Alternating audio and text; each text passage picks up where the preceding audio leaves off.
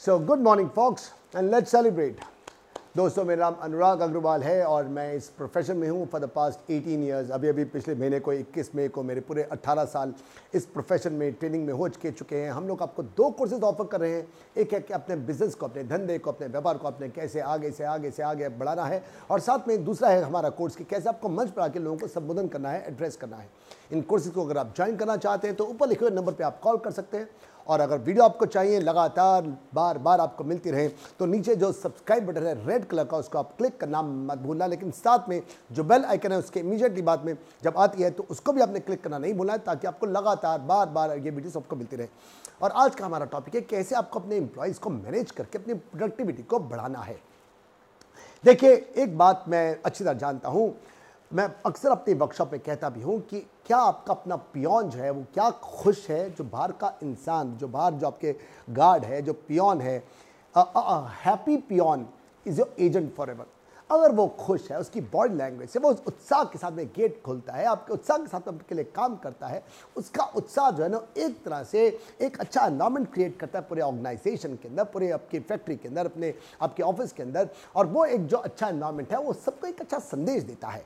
मैं इसलिए कहता हूँ a happy peon is agent for इसका मतलब ये नहीं कि सबको सिर्फ़ पियोन को ही खुश करके रखना है। सारा का सारा वर्क कल्चर धांसू होना चाहिए, बढ़िया होना चाहिए। सारे के सारे इंप्लॉयज़ खुश होने चाहिए।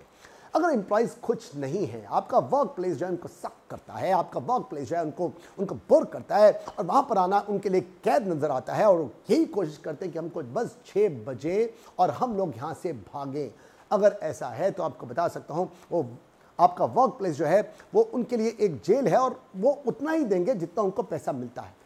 यहाँ पर मैं आपको एक बात और कहना चाहूँगा कि दोस्तों, आपको हर हालत में अगर आप मूंगफलियाँ दोगे तो आएँगे कौन? मूंगफलियाँ दोगे तो आपके बंदर ही तो आएँगे ना। क्या आप बहुत कम सैलरी दे रहे हो? अगर कम सैलरी दे रहे हो तो या तो वो इंसान जो कि बेचारा उसके पास सैलरी नहीं है, उसके पास कोई और धंधा नहीं है, इसलिए वो आ रहा है। या तो वो आ रहा है, या फिर वो इंसान जो कि ज़्यादा पढ़ा लिखा नहीं है, जो कि कम कैपेबल है, उसका कैलिबर कम है, वही इंसान आ रहा है। इन बातों का आपने ख्याल रखना है कि अपने पैसा बचाने के चक्कर में कहीं आप धंधे के साथ में कोई कंप्रोमाइज़ तो नहीं कर रहे। अच्छे इंसान को रखोगे ना आप, मैं आपको बता दूँ रेनॉल्ड रिगन जो कि 1970s में अमेरिका के प्रेसिडेंट रह चुके हैं रेनॉल्ड रिगन भी यही कहते हैं कि भैया, अगर आप एक सही इंसान को रखते हो सही इंसान को रखने के बाद अगर आप उसको अथॉरिटी देते हो, अगर आप उसको ट्रेनिंग देते हो अथॉरिटी देते हो, उसको सुपरवाइज करते हो तो कुछ एक टाइम के बाद एक सही इंसान आपको अपने आप काम देगा। आपको उसके काम में नाक डालने की ज़रूरत नहीं पड़ेगी। You don't have to put a beautiful nose in his affairs कुछ एक टाइम के बाद अपने आप वो काम करेगा। आप फ्री हो जाओगे। यहाँ पर मैं आपको कहूँगा कि एक और बड़ी मुश्किल जो है लोगों के साथ में वो ये है कि हम लोग ये समझते हैं कि जितने भी लोग रिज्यूम दे रहे हैं जितने भी लोग इंटरव्यू के आ रहे हैं वो सब सही हैं वो गलत नहीं कर रहे। देखो जी ये बात तो आपको माननी पड़ेगी कि कुछ एक गलती इंप्लॉयज़ की तरफ़ से भी होती है। आ, इनके जो रिज्यूम में लिखा होता है इन लोगों के जो इंटरव्यू में जो ये लोग बोलते हैं 50 परसेंट मैं कहूँगा अक्सर गलत ही होता है। आप गलती क्या करते हो? आप उनको परमानेंटली आप उनको अपना हायर करते हो और कुछ एक दिनों के बाद कुछ एक हफ्तों के बाद कुछ एक महीनों के बाद आप रिग्रेट करते हो जब आप देखते हो कि नुकसान आपका बढ़ रहा है। एक तो आपको मान, मानना पड़ेगा कि you have to have hire and fire hire and fire को रखिए आप लोग। अगर आपका एम्प्लॉय सही है, अच्छी सैलरी दीजिए, नहीं, वहीं पर आपको थोड़ा कड़क होना पड़ेगा, दिल पे पत्थर रखना पड़ेगा, ये इमोशनल फूल आप कब तक बनते रहेंगे? अगर आपका वो एम्प्लॉय ढंग का नहीं है, उसने फॉल्सिफाई किया है, उसने झूठ बोला है, या उसका कैलिबर ही इतना नहीं है कि वो आपको रिज़ल्ट दे सके तो उसको फायर करना सीखिए। ये सीखना पड़ेगा, घोड़ा घास से दोस्ती करेगा तो जाएगा कहाँ पर? आपको अपने धंधे के अंदर थोड़ा सा स्ट्रिक्ट होना पड़ेगा। हार करते हो आपने ख्याल रखना है कि एक अच्छे ढंग का आपने इंटरव्यू लेना है। हार करते हो आपने ख्याल रखना है कि आपका जो एम्प्लॉय है, उसके चेहरे पे एक अच्छी, उस कैंडिडेट के चेहरे पे एक अच्छी खासी स्माइल होनी चाहिए। अगर आपके कैंडिडेट के चेहरे पे एक अच्छी स्माइल है तो आपका कस्टमर खुश होगा, आपके प्रोडक्ट को बाय करते वो वो ज़्यादा इंतुजियास्टिकली उस प्रोडक्ट को बाय कर पाएगा। चेहरे पे स्माइल जो है कभी भी हायर करने के बाद सिखाई नहीं जाती, उसको ट्रेन नहीं की जाती वो ऐसी कोई मशीन नहीं है, ऐसी कोई मेडिसिन नहीं है जो कि आप उसको खिलाएँ और उसकी स्माइल उसके चेहरे पे आ जाए। ऐसे एम्प्लॉय को रखिए हायर करते हुए कि जिसके चेहरे पे स्माइल हो, उसका एटीट्यूड अच्छा हो, उसका बिहेवियर अच्छा हो, उसकी कम्युनिकेशन बहुत अच्छी होनी चाहिए। आपको अगर अच्छा इंसान मिलता है, एक अच्छी कम्युनिकेशन का इंसान आपको मिलता है तो आपकी सेल जो है वो बढ़ती बढ़ती है। तो हायरिंग के वक्त में आपने ख्याल रखना है इन बातों का। हम लोग बात करके चुके हैं कि आपके एम्प्लॉय के चेहरे पे एक अच्छी स्माइल होनी चाहिए, लेकिन साथ में आपने उसको कुछ एक बातों का और भी ख्याल रखना है कि किसी भी हालत में उसने आपके कस्टमर के साथ में मिसबिहेव नहीं करना, उसे गुस्सा नहीं करना। एक बार भी गुस्सा हुआ नहीं कि आपका कस्टमर किसी भी हालत में, आपके एस्टेब्लिशमेंट में, आपके ऑर्गेनाइजेशन में, आपकी फैक्ट्री में, आपके ऑफ़िस में आपकी शॉप पर नहीं आएगा वो। इंसान ज़्यादातर इमोशनल फूल होता है, वो लॉजिकल नहीं होता, वो प्रोडक्ट के पीछे कई बार नहीं जाता, उसको जब लगता है कि मेरी यहाँ पर इंसल्ट हुई है तो अपना नुकसान कर लेगा, लेकिन उस दुकान पर, उस उस एस्टेब्लिशमेंट में दोबारा लौट के नहीं जाता। तो अब सिखाइए कि किसी भी हालत में उसने गुस्सा नहीं करना है, जहाँ गुस्सा किया और वही अच्छा खासा कस्टमर आपके हाथ से निकल सकता है। एम्प्लॉय को जब आप हायर करते हैं आपने ख्याल रखना है कि आपका जो वर्क कल्चर है वो बहुत अच्छा होना चाहिए। वहाँ पर कोई किसी को क्रिटिसाइज ना करे सब के सब इंकरेज करें सब के सब टीम वर्क के अंदर काम करें।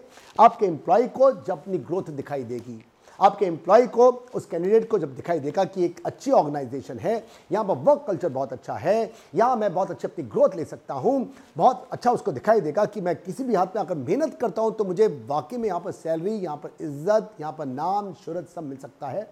वो क्यों नहीं काम करेगा? काम नहीं करेगा, अगर उसको लगता है कि हर साल मुझे मिलना क्या है यार? पाँच, सात, आठ, दस परसेंट मिलना है। किसी भी ढंग से यहाँ पर दो, चार, पाँच महीने तक रुकता हूँ और कोशिश करता हूँ कहीं और पर थोड़ी सी और अच्छी सैलरी मिल जाए, अच्छी नौकरी मिल जाए।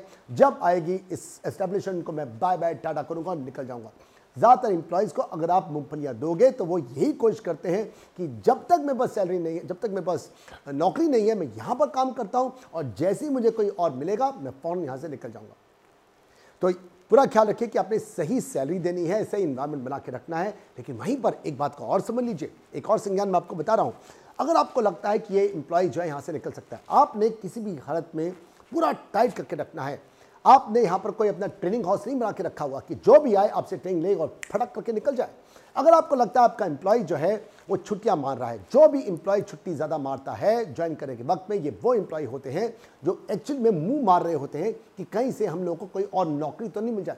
जो नौकरी लेते ही मुँह मारता है, जो नौकरी लेते ही छुट्टियाँ करता है, वो साफ़ सी बात है, वो कहीं ना कहीं पर जाके इंटरव्यू दे रहा है। कोशिश कीजिए क्या आपको साफ़ ये बता के रखना है कि अगर तुमने छुट्टी की तो किसी भी हाथ में हम तुम्हें नहीं रखेंगे। पहले से अपनी सारी की सारी कंडीशन रखिए ताकि ये लोग आए तो वहाँ पर टिक के काम करें।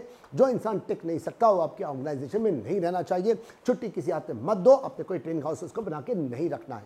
हम अपने ऑटो पायलट कोर्स के अंदर, हम अपने बिज़नेस कोर्स के अंदर इस बात का अक्सर ज़िक्र करते हैं कि ऐसे टूल्स हैं, ऐसे तरीके हैं, ऐसे सिस्टम हैं जिससे कि आप एक एवरेज इंसान से भी बहुत अच्छा काम करा सकते हो।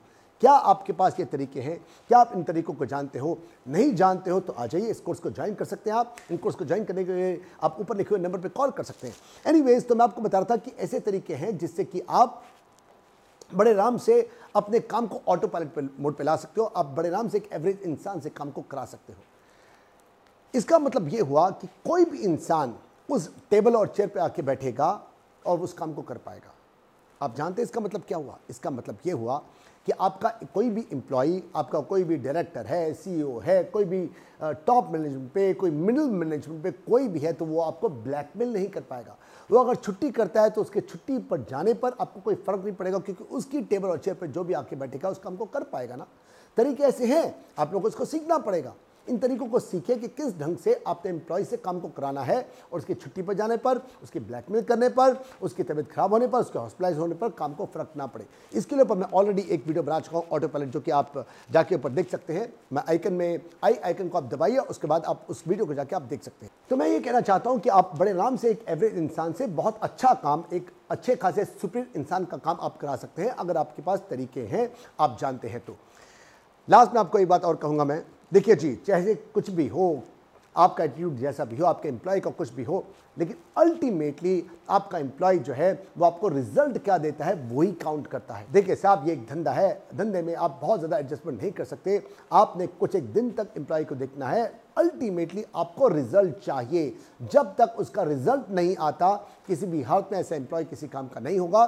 मैं आपको पहले भी कह के चुका हूँ, आपको हायर एंड फायर करना आना चाहिए, दिल पे पत्थर रखो, ऐसे इंसान जो काम के नहीं है, उनको निकालना चाहिए, आपके पास रिज़ल्ट आना चाहिए, तभी काउंट करता है। मैं अग्रवाल हूँ, मुझे हमेशा यही सिखाया गया कि भैया, अगर रिज़ल्ट नहीं है तो ऐसे एम्प्लॉय को रखने का कोई फ़ायदा नहीं है, कोई वो नहीं है, उसको फायर कीजिए, उसको निकालिए आप। दोस्तों, अगर आप इन बिज़नेस कोर्स को ज्वाइन करना चाहते हैं तो ऊपर लिखे हुए नंबर पर आप कॉल कर सकते हैं और वीडियो चाहते हैं तो नीचे जो सब्सक्राइब बटन है, उसको आप ज़रूर क्लिक कीजिएगा। अपने व्यापारी दोस्तों के साथ में इसको शेयर करना मत भूलना और साथ में लाइक करना आप इसको मत भूलिएगा। और हम लोग मिलते हैं मेरी नेक्स्ट वीडियो के अंदर। बाय शब खैर बी सिंह या गुड नाइट